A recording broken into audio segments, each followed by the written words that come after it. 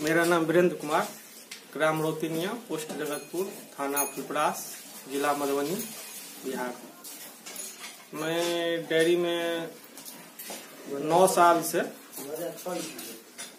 2006 से इसमें है। अभी वर्तमान में तीन गाय और दो भैंस मेरे पास है। जिसमें दो भैंसी दुधारू है, एक गाय जो है वो सात महीना की गाभिन है। और दो और है। कितना दूध आप डेली निकाले हैं या निकाले हैं या निकालेंगे? पहला कितना निकालते थे अब कितना निकालेंगे? पहले तो पचास लीटर लमसम निकलता था। ज़्यादा गाय था मेरे पास। दस गाय था। लेकिन अभी फ़िलहाल कम हो गया है। तो कितना दूध निकल जाता था? अभी बीस लीटर के आसपास। अब पहले?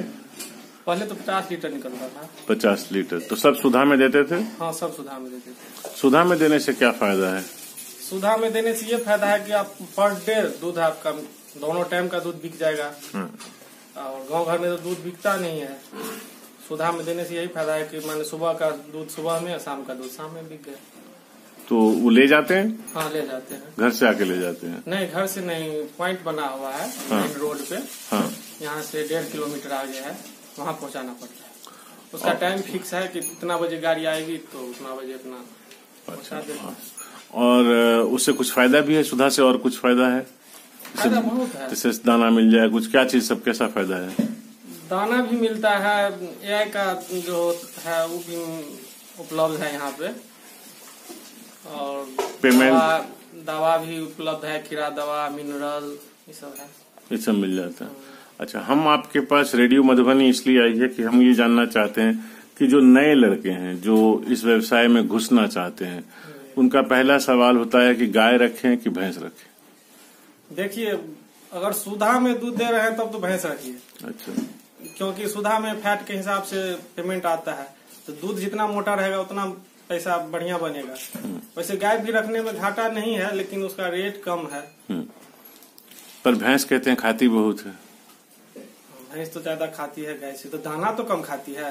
अच्छा। पर यहाँ के इस इलाके में हरे चारे की बड़ी प्रॉब्लम है। हाँ, प्रॉब्लम तो फिर क्या करेंगे? हरा चारा नहीं मिलेगा तो?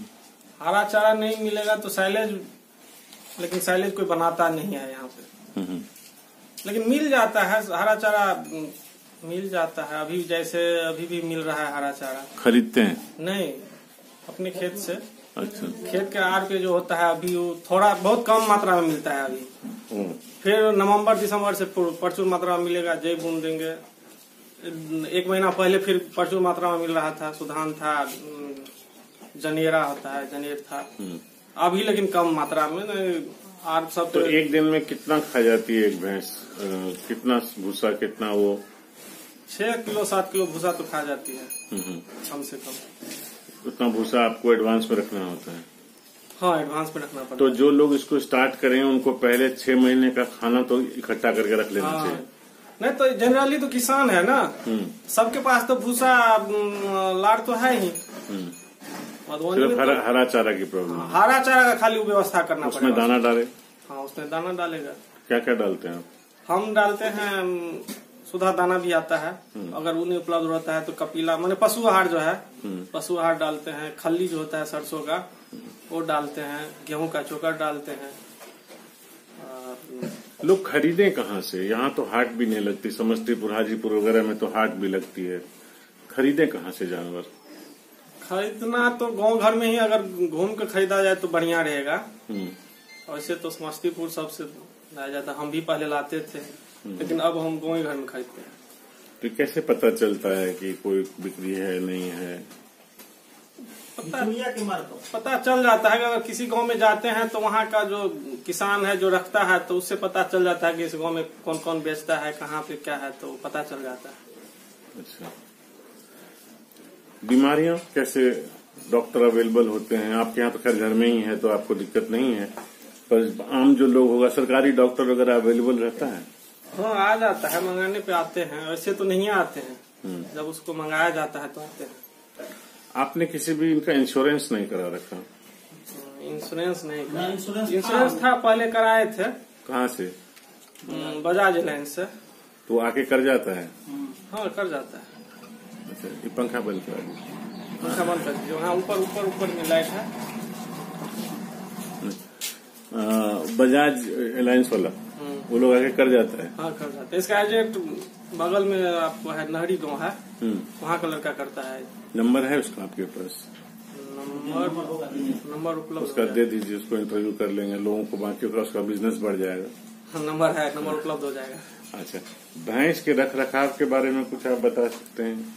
जैसे अमूमन कितने की आ जाएगी? अगर दस लीटर की है पंद्रह लीटर की है। पंद्रह लीटर का तो नहीं मिलेगा मधुबनी में। अच्छा। कहीं नहीं। अच्छा। ज़्यादा से ज़्यादा माने दस लीटर पाँच लीटर सुबह पाँच लीटर शाम का मिल सकता है। अच्छा।